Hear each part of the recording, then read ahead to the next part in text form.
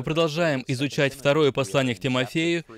Мы остановились в третьей главе и разобрали стихи, которые отрезляют нас. Это предупреждение о том, что будет происходить по мере приближения возвращения Иисуса Христа.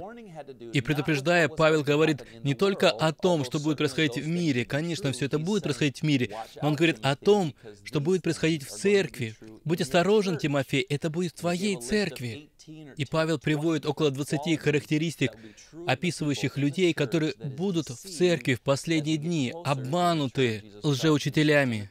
И Павел пишет Тимофею, зная об этом, и зная об этом, готовься к этому. И остановились мы на девятом стихе третьей главы.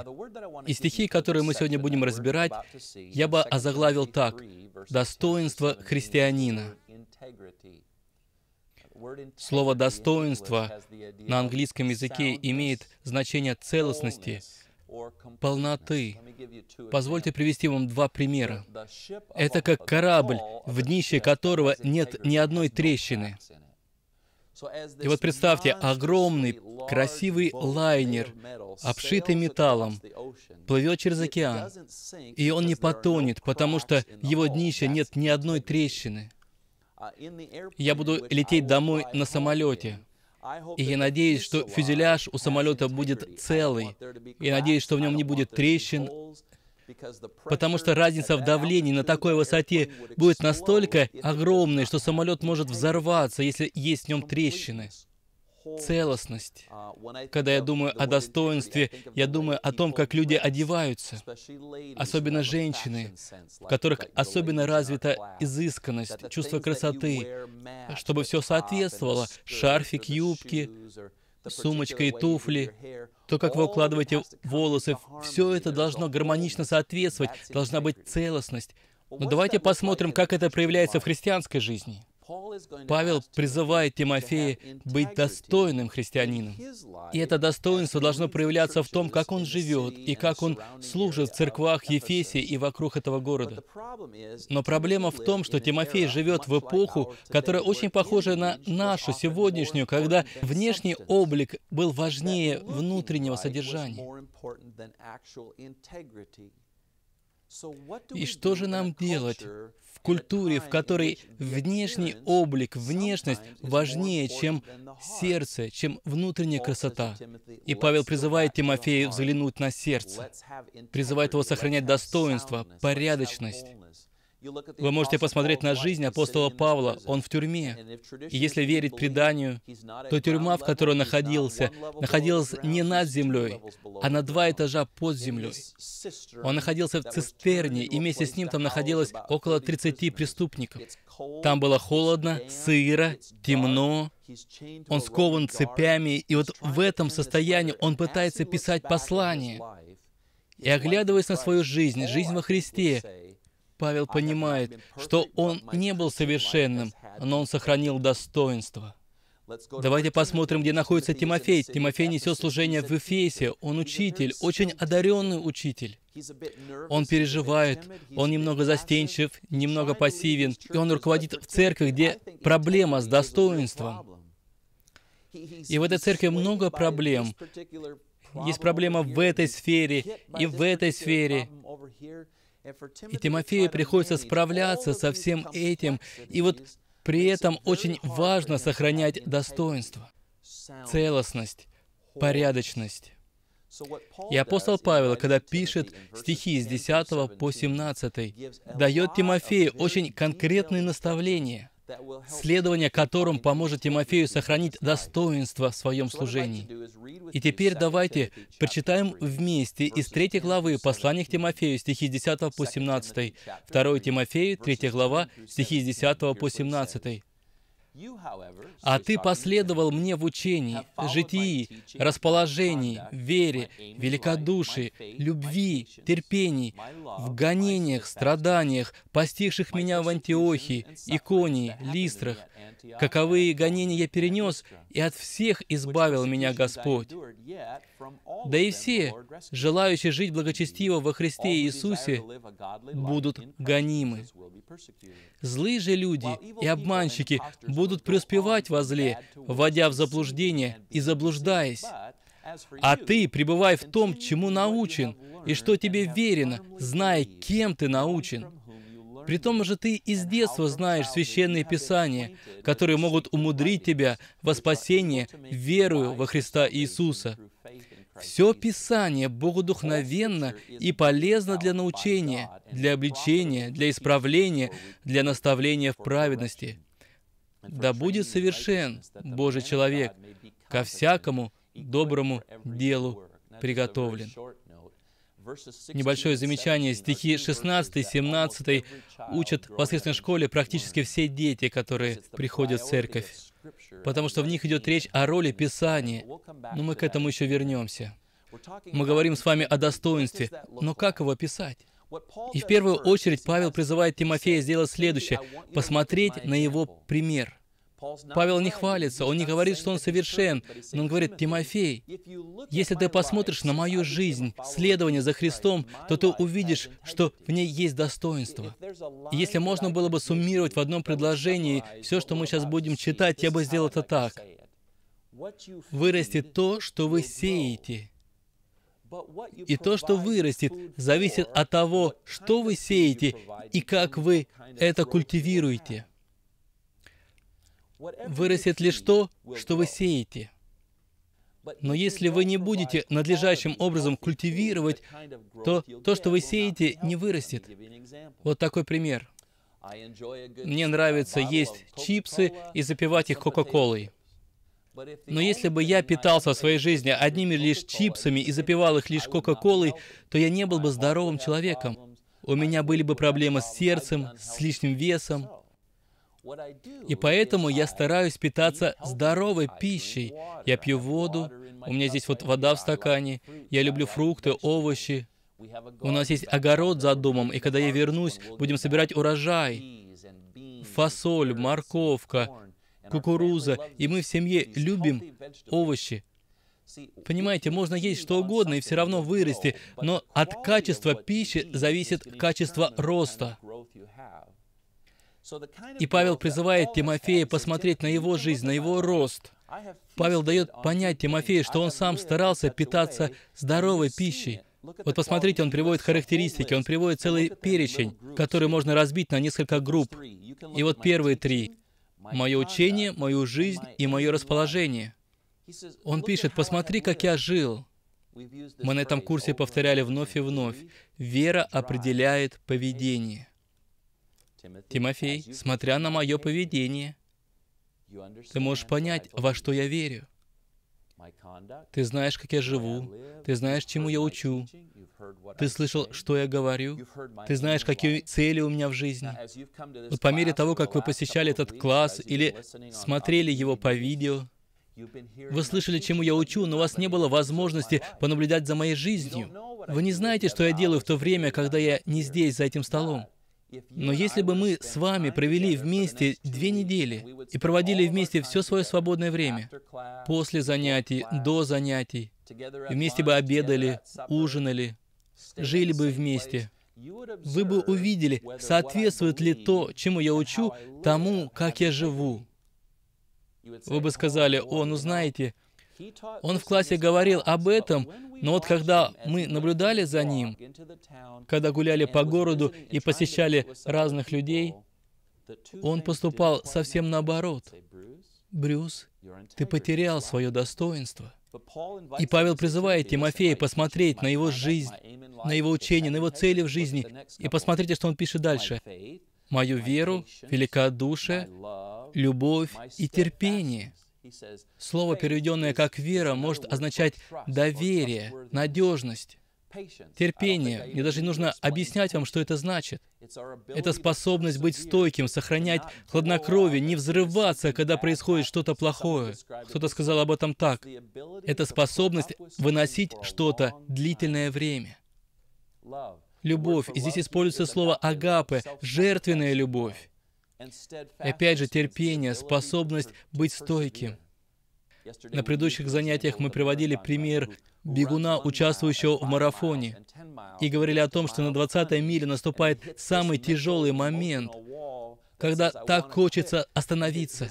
Но бегун повторяет себе, «Я тренировался, и я буду бежать дальше». — это выносливость. Тимофей, ты видел это во мне. Ты наблюдал за мной. Ты знаешь, что я сохранил достоинство.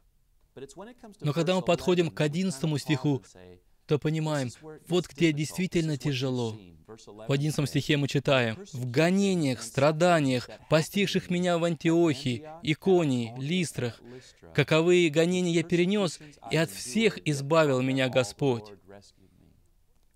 Если вы хотите кого-то узнать по-настоящему, то посмотрите на то, как они ведут себя в трудностях.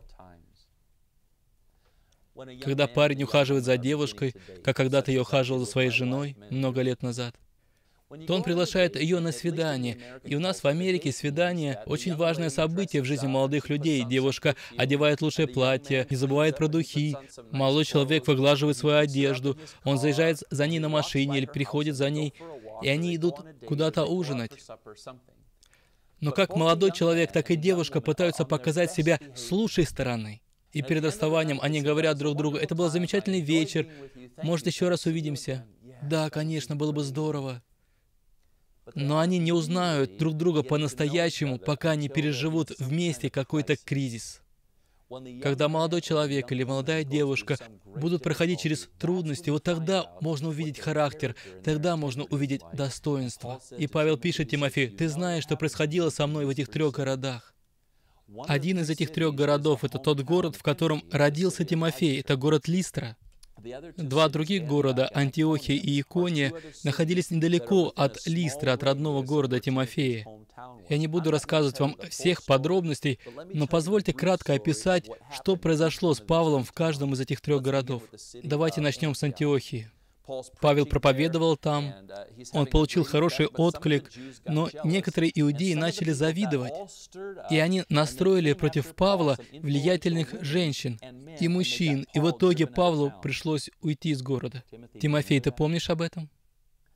Затем Павел упоминает город в нескольких милях на восток, Иконию. Павел проповедует, иудеи и язычники приходят к спасению, Евангелие распространяется, люди спасаются. Все замечательно. Однако город разделился из-за Павла.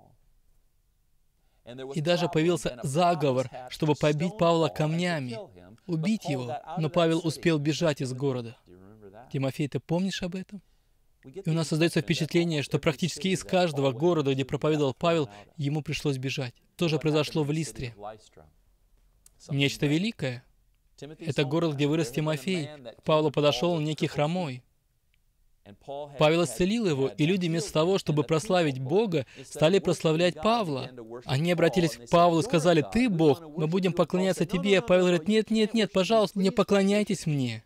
Но вместо этого поклонитесь и прославьте Бога, давшего мне силу совершить это.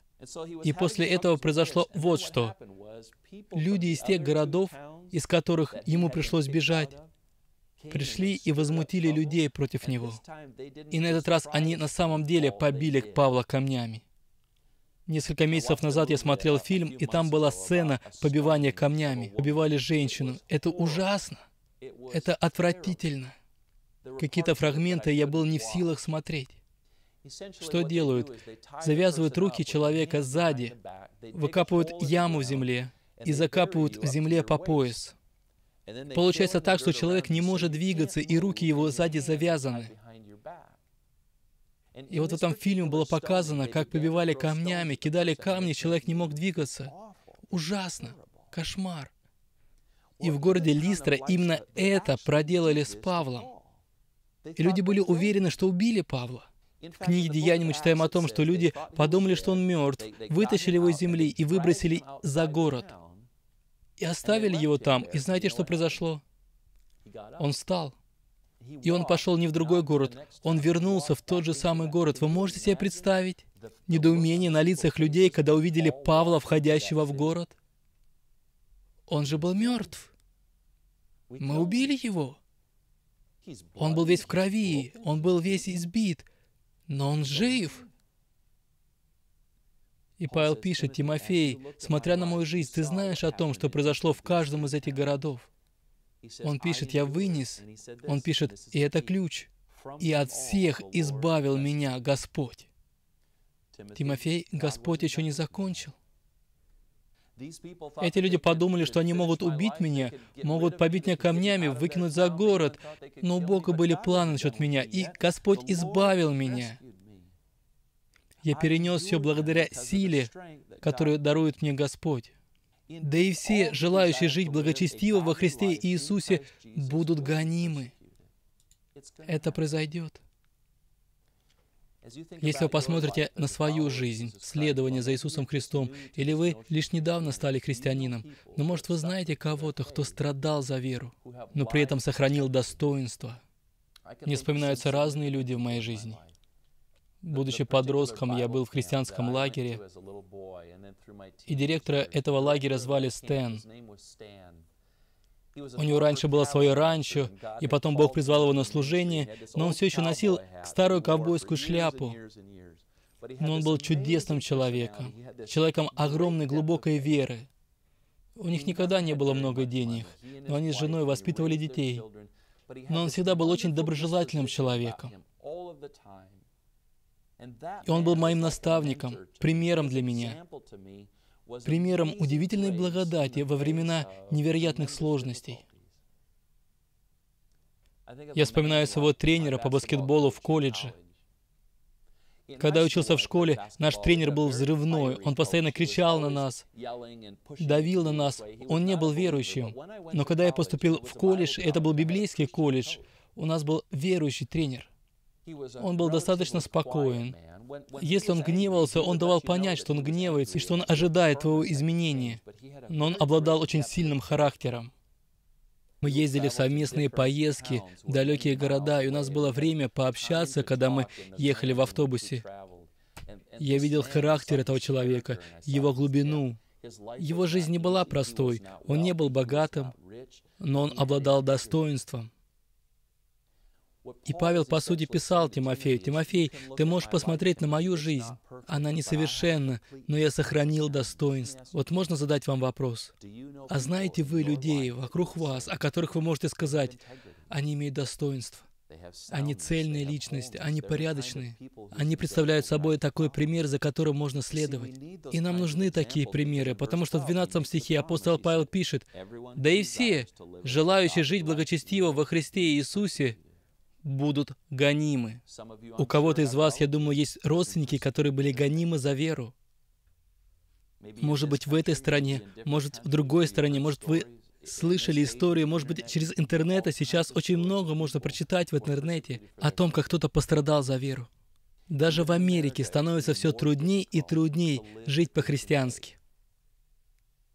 Очень многие говорят, ну знаете, христианство, это может быть хорошо для вас, но это такая блеклая жизнь, поэтому, христиане, пожалуйста, не приставайте.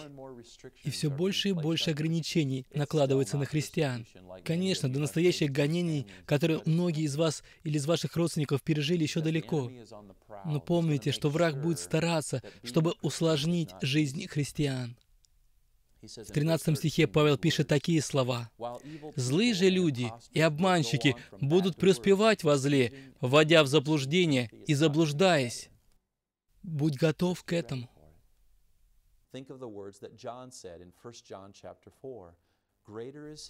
Тот, кто в вас, больше того, кто в мире. Но Господь, Господь, Ты не понимаешь, не понимаешь того давления, с которым я сталкиваюсь, что происходит в школе, что происходит дома, на работе. Тот, кто вас, больше того, кто в мире. Понравилась лекция? Вдохновились услышанным? Поддержите нас молитвой и финансами. О чем молиться и как пожертвовать, вы можете узнать на сайте www.tvseminary.com.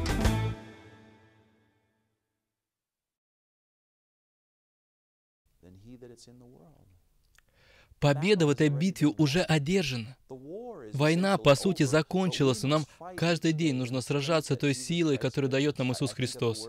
Я вспоминаю слова Иисуса. «В мире будете иметь скорбь». Вы будете иметь скорбь, но мужайтесь, я победил мир.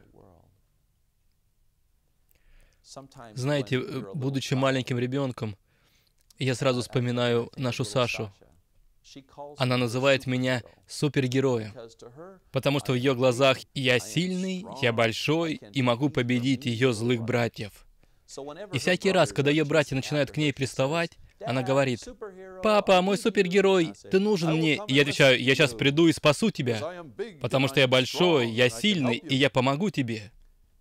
Иисус Христос говорит нечто подобное, конечно, не такими словами. Он говорит, когда появятся проблемы, станет трудно, он говорит, я супергерой. Я победил сатану, я победил смерть. Вы можете доверять мне, можете сохранять достоинство. Мы уже говорили вначале, что посеешь, то и пожнешь. Сеем ли мы Слово Божье, чтобы оно произрастало? Но и то, как мы культивируем свой посев, определяет, насколько качественный будет урожай. Питаемся ли мы здоровой духовной пищей, чтобы стать зрелым и духовным христианином? Далее, стихи с 14 по 17 я бы заглавил таким словом «подготовка». Зная о том, что трудности придут, зная о том, каким примером для нас был Павел, что нам делать, чтобы подготовиться? Что должен был делать Тимофей, чтобы быть готовым? И вот что Павел пишет. «А ты пребывай в том, чему научен, и что тебе верено, зная, кем ты научен. При том же ты из детства знаешь священные писания, которые могут умудрить тебя во спасение верою во Христа Иисуса. Другими словами, Павел пишет, «Послушай, Тимофей, когда ты еще был маленьким, твоя мама, твоя бабушка, благочестивые женщины научали тебя из Писания. У них были Писания Ветхого Завета, и они учили Тимофея, и учили хорошо. Павел пишет, ты знаешь это.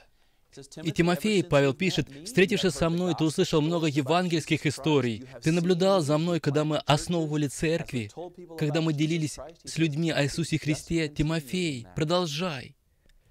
Тимофей, ты на правильном пути. Оставайся на этом пути. Не уклоняйся в сторону. Следуй за мной. И ты будешь готов. Павел пишет, «При том же ты из детства знаешь священные писания, которые могут умудрить тебя».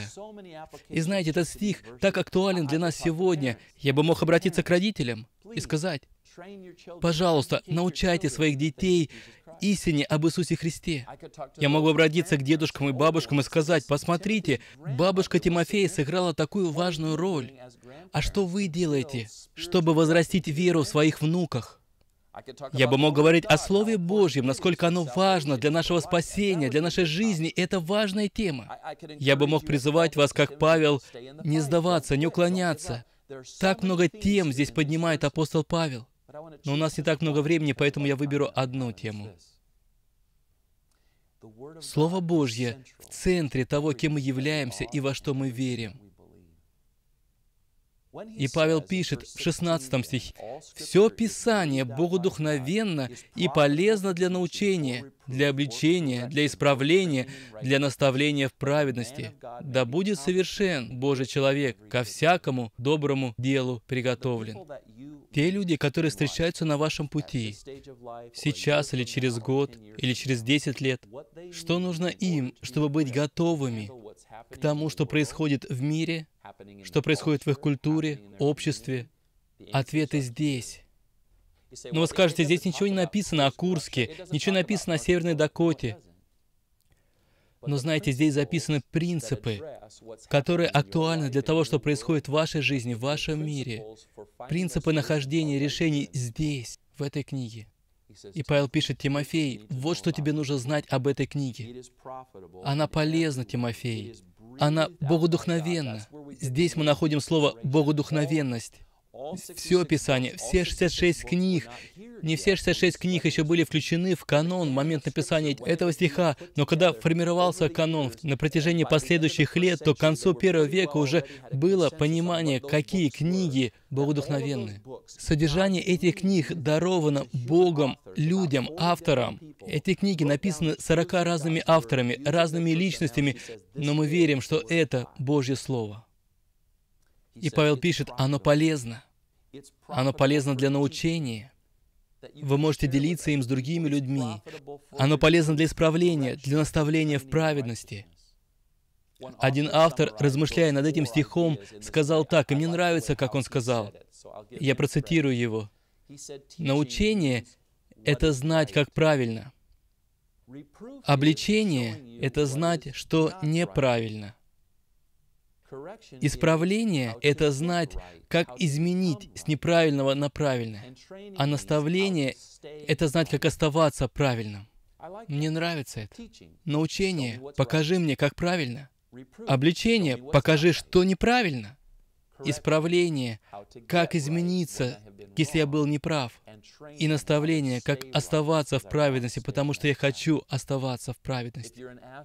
Если вы спортсмен и готовитесь к выступлению, то тренер вам говорит, вот вы это должны делать, чтобы достичь максимальной скорости, максимальной выносливости.